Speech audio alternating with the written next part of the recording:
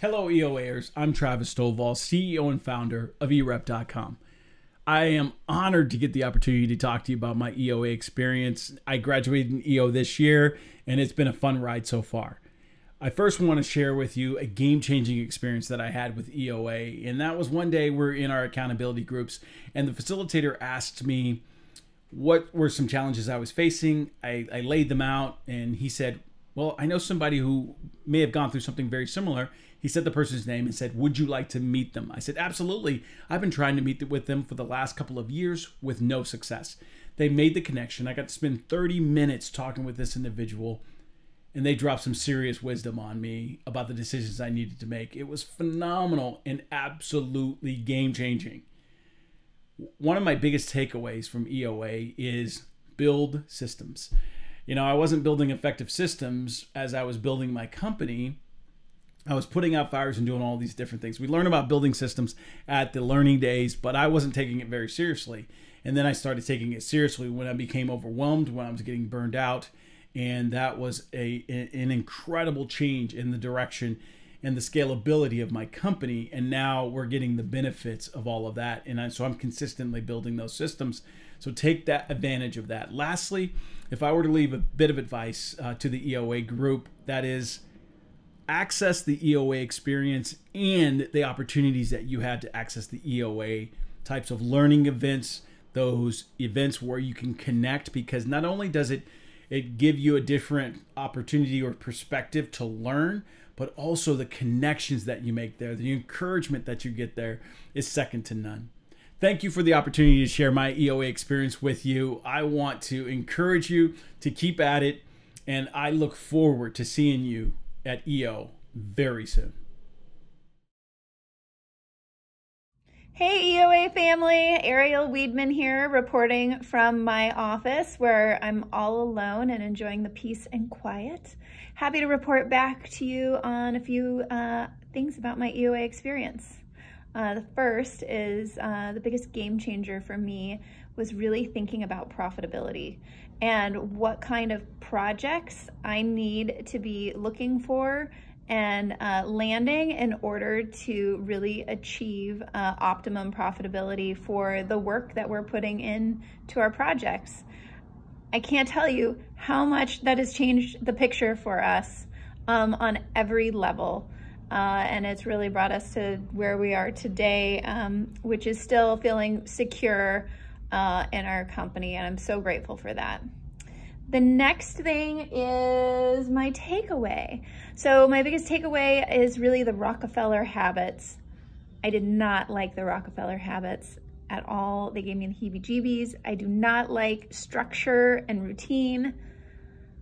But boy, most other people really do like structure and routine, and especially my employees like our weekly meetings and really getting them involved in um, day-to-day -day thinking of uh, decision making here and me learning where they're at. It's just we're all on the same page. It's been a it's also been a game changer, but that's my biggest takeaway.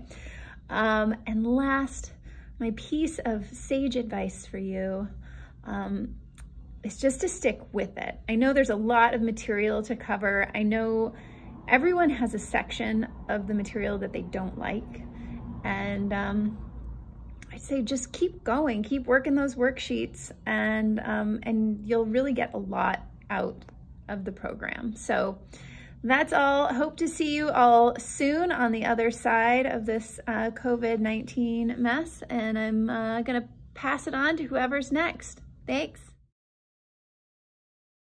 Well, hey, all you cool cats and kittens. I mean, EOAers. Uh, I've been asked as a recent graduate to talk about my experience in EOA, and I wanted to just say, first off, it was really a great experience.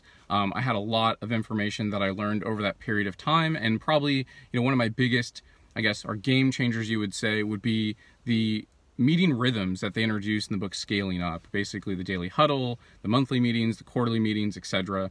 Um, that's been something that's really allowed our organization to get focused, stay organized, and uh, make sure that we're paying attention to the long-term goals. Uh, it took a while, probably about a year, for us to kind of really perfect that process because um, you got to go through a lot of iterations and figure out what works for your organization, what works for the different types of positions, and what information you want to take away from those meetings. But nonetheless, that was probably the biggest game changer for us.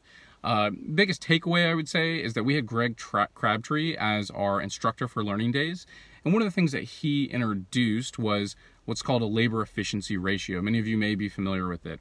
Uh, that was a huge takeaway for us um, because in our industry, which we do property management for residential multifamily properties, it was very difficult to benchmark us against competitors because there weren't a lot of common measuring sticks, at least in the residential side of the business.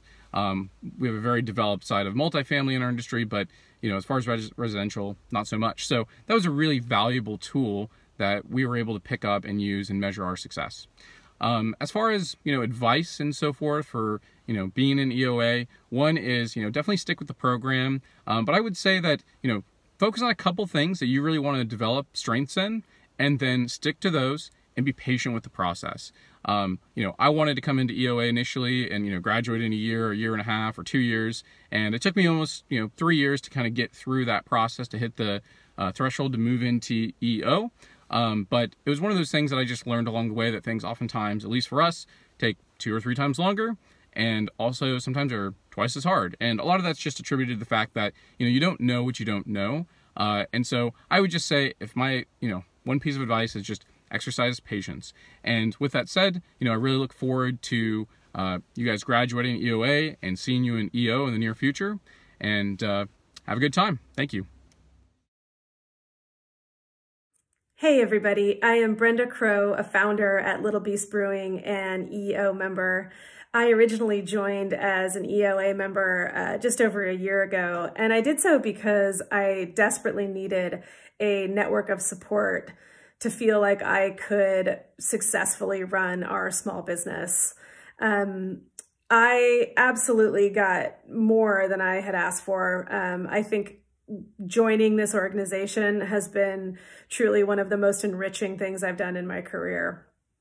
Um, a couple of game changers that I'd love to tell you about. Uh, one of them was Cash Day with Greg, Greg Crabtree. Um, he has an incredible knack for teaching functional accounting that works and providing actionable tools that you can use right away to help you make good decisions in your business. Another really uh, impactful day for me was the three hag workshop that we did with Shannon Susko. It was a workshop intended to help you strategize for short and long-term goals and to create a plan of action. And that's really what I love about this organization is beyond just theory, um, the things that you learn are really accountability and practice based. You can put them into practice right away and quickly make a big impact in your own organization. My advice to you is to participate, um, to really build your network of peers, uh, to experience as much as you can and to share with others uh, and to have fun. Cheers.